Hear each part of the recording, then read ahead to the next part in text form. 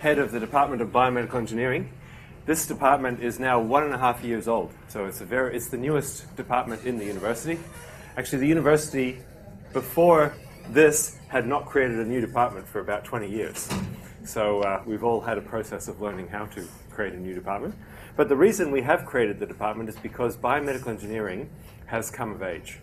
It is now considered one of uh, moving into being a mainstream discipline within engineering. So uh, civil engineering was you could consider the first, and there's also electrical, mechanical. But uh, biomedical engineering, while it brings those together, it has some specific qualities of its own that are worth having a degree for. So what I want to do is to take you through why you should consider doing biomedical engineering here at the University of Melbourne and give you some examples of the sort of things that, that you would learn about. So first of all, engineering at the University of Melbourne is ranked number one in Australia and number 27 in the world. And that, so um, we we also, we also offer what we call the Melbourne Advantage, which is a higher level qualification that's recognized globally. And specifically, we, our Master of Engineering degrees have accreditation in Europe. So we're the only Australian university that has that full accreditation in Europe at present. Other universities are now applying for it, though, as well. Uh, so our, we're keen for you to be inspired by our research that we do. We, we are focused a lot on research led teaching, which is really means that we teach you what is at the cutting edge of the field. We're industry connected as well. We've been ranked by the Shanghai Jiao Tong rankings as the number seven university in the world for graduate employability. And we have a very industry aligned curriculum. We have industry coming in for most of our subjects. Uh, we have industry relevant workshops and laboratories as well as, as um, internship opportunities.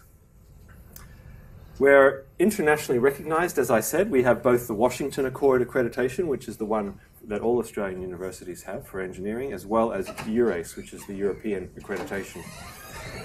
And uh, while we have a bachelor and then master's program, we focus on engineering right from the very beginning, and uh, we uh, from from day one within an undergraduate degree until the last day of a master's degree, there's engineering all the way through.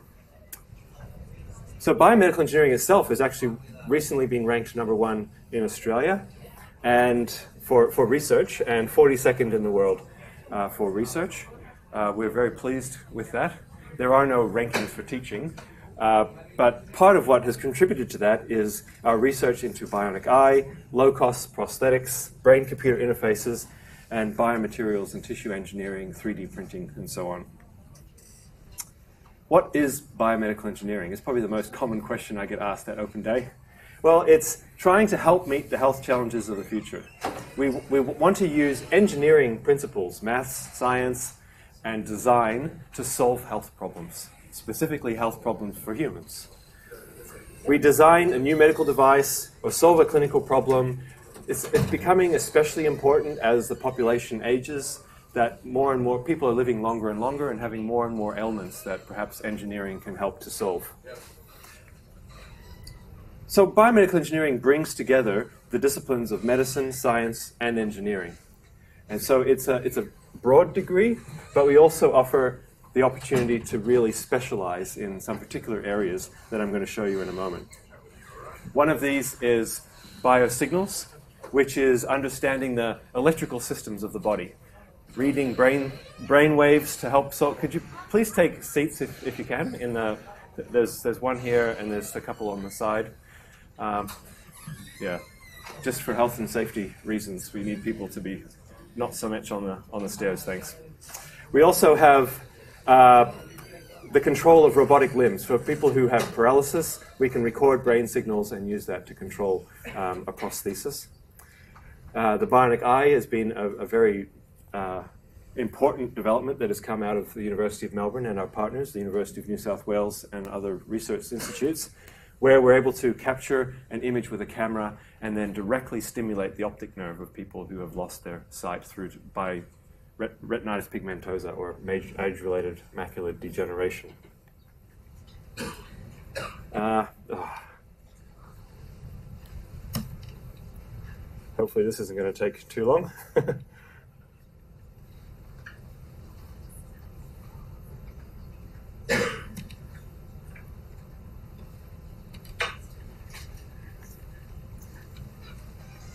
Biomechanics is another different area, and that's trying to understand how the, the body works in terms of the musculoskeletal system.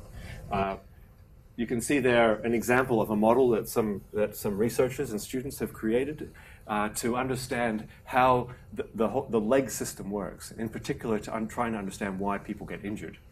And if, if are there ways that we can help um, prevent those injuries? In particular, anterior cruciate, cruciate ligament injuries or ACL injuries, which are very common um, in AFL, as well as implant development. So, uh, my colleagues David Ackland and Peter Lee developed an artificial jaw joint for people who've, who've lost their joint, and that, that has been uh, really successfully applied now in, in um, over 30 people, and a company has been formed to commercialize that. Rehabilitation engineering also is how, how best can we understand the difficulties, especially that children have in terms of uh, development, and how can we help them in the best way possible by providing um, orthotic systems or possibly to uh, better training methods for them. Biomaterials is another very different area where we have these uh, nano sort of materials. We can create structures in which stem cells can, can be placed and to differentiate into different types of tissue to replace, replace lost tissue or to repair uh, damaged tissue. And bio-nanotechnology, especially looking at can we target uh, cancer cells with, with toxic chemicals that are encased in such a way that they will only affect the cancer cells and they won't affect the rest of the body. And finally, clinical engineering is one of the, the main areas in which there is a lot of um, work for biomedical engineers. Hospitals, biomedical engineering departments are growing as there's more and more technology that is being incorporated into hospitals. and there's so many others. And what's most exciting is that some have not even been thought of yet. So we're very keen to train you not just in how to deal with existing systems, but to be ready for dealing with the systems that have, that have yet to be invented. As I mentioned earlier, we have a strong focus on industry and employment. So students have the opportunity to undertake 10 to 15 weeks of professional work experience, and they get course credit for doing that. Uh, and that's to help facilitate the students being able to get that experience. There's other ways to connect with industry. The Industry Capstone Project is a final year project in the Master of Engineering degree. And you, you can either choose to work with an academic or to work in industry uh, for that. Creating innovative engineering is a new subject introduced last year that where students coming into the degree learn how to work with major companies to try to solve some of their problems.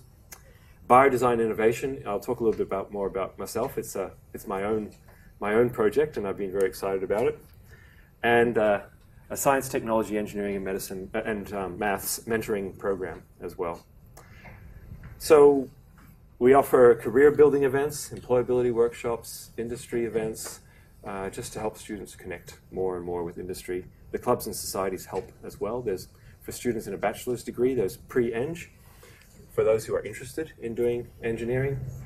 And also, we have, in, in particular, uh, MOOBS, which is uh, a strange, a strange name uh, there. That's um, the Melbourne University Biomedical Engineering Society, a very active student group that puts on barbecues and fun events as well as creating industry events and so on. And the in, in endeavor industry is where students showcase um, their projects to, to the world. The biodesign innovation subject is one that I developed along with the Melbourne Business School uh, two years ago, where students develop a concept for a medical device and they also develop a business plan to go along with that. And by working with MBA students and also clinicians from hospitals, they can make sure they're solving real problems uh, real needs. They focus on the needs before they think of the concepts to solve those needs, because as engineers, we can have a tendency to have a gadget and then try to find something to solve with it. So, um, out of the nine teams that have been through this program so far, there's seven startup companies that have been formed. And Navi Medical Technologies is one of the most successful. They're developing uh, a system to help um, neonatal intensivists to insert uh, catheters into the belly button of uh, newborn babies to help deliver drugs to them. Uh, and the, it, it's sort of an obvious place that you could you could enter into the blood system. Uh, Stelect uh, is a team from last year that have developed a system for optimizing the length of a stent for a coronary coronary stents, and they actually won the MedTech MedTech's Got Talent startup competition, uh, which we're quite excited about, out of over 100 entries. So, in terms of employment outcomes, there, there is definitely a growing market in biomedical engineering. Our cohort is fairly small, but it, it is growing. So we have about uh, 70 or so that graduate each year, much smaller than the other disciplines. There are perhaps proportionally less jobs, but it's definitely a growing industry. And, and I, th- I think that um, the rate of job growth is, is exceeding the other, the other disciplines of engineering at present. Uh, the entrepreneurship and innovation system also allows students to consider the possibility of being entrepreneurs and creating their own companies rather than just going in and getting jobs. So here's um, a bit of a crowded slide, but it talks about the biomedical engineering career options. So the, the main pathways are through the Bachelor of Science and the Bachelor of Biomedicine. However, there, you can do any undergraduate degree to get into the Master of Engineering. Uh, the two possibilities for the Master of Engineering uh, is the biomedical and biomedical with business.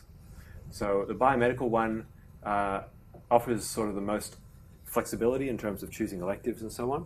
Uh, but the biomedical business is becoming more and more popular as people see they're likely to be getting into management roles and, and so on.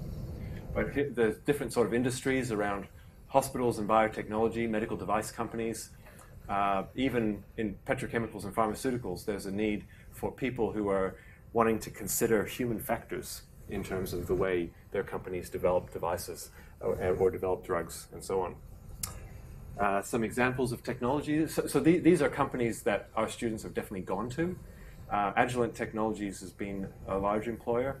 Uh, many of our students have also been going into IBM, principally IBM Research, uh, as they develop their, their sort of healthcare systems. OMX Solutions is the company that was formed with the, the to, to, commercialize that jaw joint um, that I told you about before. But the different sorts of job roles, uh, well, research and design is a key role for engineers, and definitely within the biomedical engineering field, there's a need to gen- generate new intellectual property, new products, uh, and improve products. You may have heard of the graduate degree packages. So we're wanting to make sure that we highlight this as it's a new, uh, a new offering for high achieving students uh, through VTAC, where students can apply for both the bachelor degree and the master degree. And it guarantees a Commonwealth supported place into the Master of Engineering if you pass your undergraduate degree. You don't have to go through this graduate degree package, but here, here are the options. So you can see there Bachelor of Biomedicine, Master of Engineering, and so if you want to do biomedical engineering, you would do the bioengineering systems major in biomedicine and then biomedical or biomedical with business in the master's degree. Similarly, um, Bachelor of Science is also a preferred pathway because it has the bioengineering systems major. Uh, but you can also go through Bachelor of Design and Bachelor of Commerce, provided you sort of carefully select the subjects that, that, you, that you would need. What if you don't get an ATAR of 96, which is the entry requirement for the graduate degree packages? Well, that, that's what everybody's been doing so far. Okay, so that, that is you, you would just choose an undergraduate degree. You need to do reasonably well at that undergraduate degree. So it's achieve a weighted average of 65%, which is which means that you have done you've done better than scrape through. Um, okay, so uh, what, we, what we feel is that students who scrape through in their undergraduate degree are probably going to struggle in the master's degree, and maybe they should be considering something else. But uh, the 65, there's, it's about over 75% of students get 65%, and then um, and then exit to employment. So those those are the two pathways up there. So the entry requirements, there's a basically, they're the entry requirements for each of those different uh, undergraduate degrees. So I, I want to make sure we leave some time, good time for questions. So I won't dwell on that, but uh, make sure if you are concerned about entry requirements that you go to the desks that are talking specifically about the um, the, the bachelor degree entry requirements. Okay, so to choose biomedical engineering at Melbourne, you would choose an undergraduate degree. Those are the two, uh, the, the ones that have the, the best pathways through into Master of Engineering. But of course, you, you could do, you could do a, uh, an arts degree if you want. Make sure that you just do some maths and science in first year, and that's, that's what you'll need to apply into the Master of Engineering. You'll just need a bit more time to complete the Master of Engineering if you do it that way. And then you can choose between the Master of Engineering Biomedical or the Master of Engineering Biomedical with Business. Here's an example of the Bachelor of Biomedicine program with the Bioengineering Systems major. So I really want to highlight this one. If you're thinking of doing biomedicine, is that there, there is a need to choose a different set of subjects from a standard biomedicine degree in the first year. And specifically because you need to pick up Calculus 2 and linear algebra, which is higher level maths than is normally required for biomedicine. So that's basically uh, calculus two is sort of taking specialist specialist maths plus. Okay, if you haven't if you haven't done specialist maths, you'll also need to do calculus one, but then uh, cal- you'll definitely need to do calculus two and linear algebra as they lead into engineering mathematics. If you choose this selection of subjects in the biomedicine degree, you're still open. It's still open to do any other major. You don't have to do the bioengineering systems major, but it does give you the option of doing bioengineering. And then you can see here we start to pick up biomedical physics and computation. And then down here we, we look at the biomechanics, the biotransport, which is the biomaterials sort of area, circuits and systems, which is biosignals. And then it all comes together in a sort of project based subject where you get to build something yourselves. The Master of Engineering goes through uh, a lot of subjects that we require for accreditation, like looking at the regulatory environment of and bioinstrumentation. But there's, there's also an anatomy and physiology.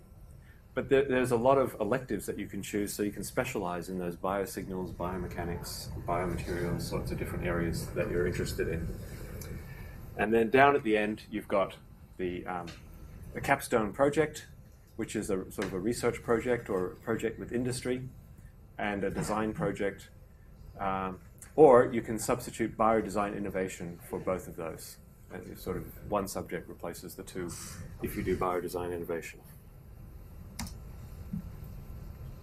Here's one of our star students. He's, he actually is one of one of the ones who created a company coming out of biodesign innovation, Will Abbott.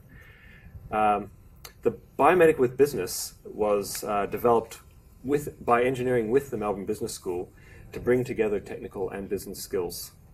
And so you can see there from the, the subjects that the five subjects that you need to do in the with business degree, um, the, the, sort of areas they cover in terms of engineering management, contracts, marketing, economic analysis, and, and strategy.